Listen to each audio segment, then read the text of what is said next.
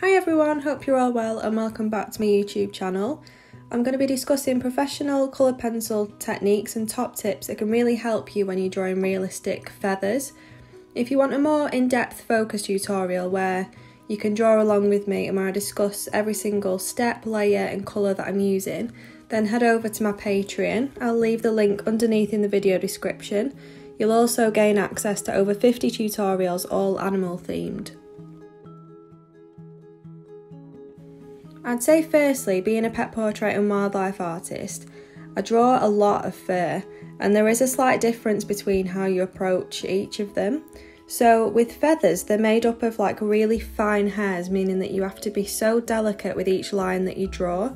You also want to draw in sort of short linear motions, so each pencil stroke is quite precise in a way, which is quite a bit different to how I approach fur.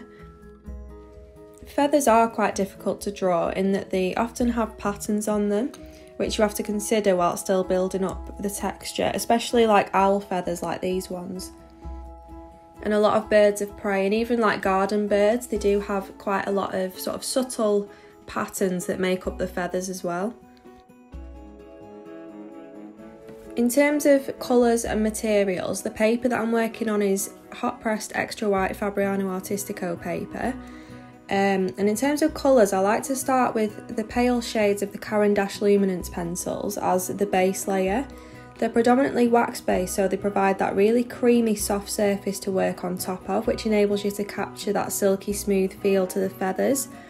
And I'd say with coloured pencils, it is always best to work from light to dark and I think the shades like Buff Titanium, Pink White and Raw Umber 10% are perfect as those initial base layers, especially for feathers that are sort of this browny, um, sort of blonde yellowy colour.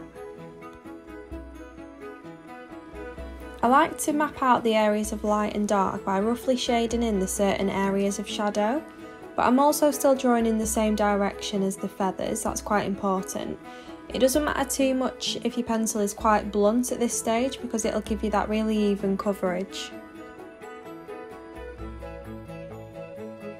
You can then start to go in with your warmer colours like the Van Dyke Brown, the Burnt Umber and the Terracotta. These are all Faber-Castell Polychromo shades. I find the Polychromo pencils are quite vibrant and excellent for building up tonal value and layering pigments. And they do work quite well with the Luminance pencils. The polychromos are predominantly oil based, whereas the luminance are predominantly wax based. So the wax based pencils are, are really good for sort of blending, but the polychromo oil based pencils are really good for um, getting that vibrant pigment down and just building up those layers. You can see how I'm building up those patterns on the feathers as I'm drawing by literally making tiny squiggly marks with my pencil you don't need to spend hours and hours perfecting each line, it's more about giving a representation of your reference photo instead of producing a photo replica. So, drawing in little squiggly shapes can just be a quicker way to capture um, that pattern detail in the feathers. If you sort of break it down and visualise what you're drawing as a series of shapes and sort of separate it into certain colours, it can just make it a lot easier to draw but you do still want those lines to be as soft as you can by, you know, keeping that really light pressure. And with feathers, the difference between feathers and fur, like one of the main differences I'd say, is that with feathers there's almost like a, a even gap in between every single tiny little hair strand, whereas fur's sort of all over the place really.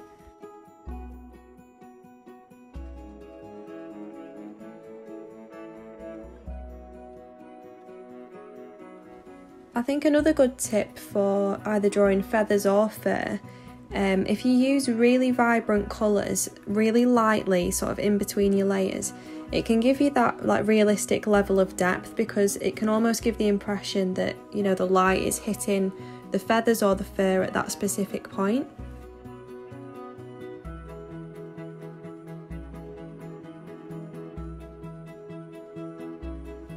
You really do need to apply such a light pressure with every single layer that you add. Um, but once you've started to build up that pigment and you've got, you know, a bit more of a contrast, you can then go in with some of your darker pigments like the dark sepia and even the black in some areas just to get those darks really, really dark.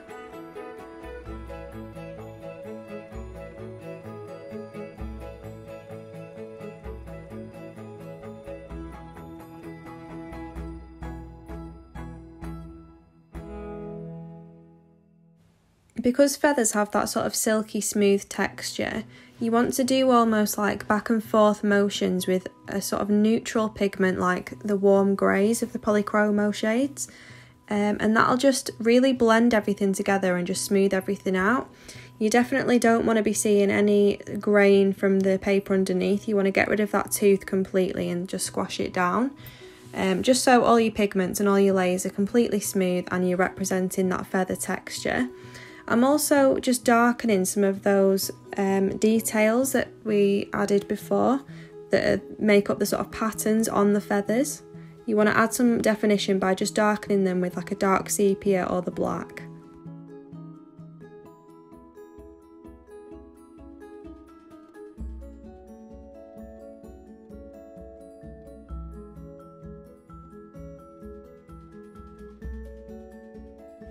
To achieve that intricate precision, I like to use the craft knife slice tool, which enables you to use the removal technique to literally scrape away those top layers of pigment and make super fine detailed marks that you wouldn't be able to achieve with just colour pencils alone. And I actually think it's at this point where you start adding those sort of feathery texture details um, that really makes it look realistic. Sticking with the removal method, I also like to use the Ultra Fine Mono Zero Elastomer Eraser, which is almost like a pen with a really uh, fine rubber at the end of it. So again, it's great for removing those top layers of pigments and revealing either the paper underneath or just, you know, making sections a little bit lighter. Obviously it's not as precise as if you're using the craft knife slice tool, but it is really good for sort of removing larger bits of pigment especially when you when you're only working on like a smaller scale piece